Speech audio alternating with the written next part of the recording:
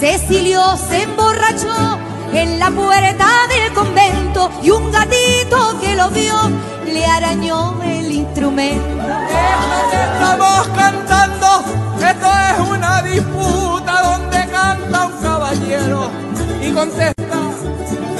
Cállate, vete callando, hocico de triquitraque, escoba de mi cocina, vacinilla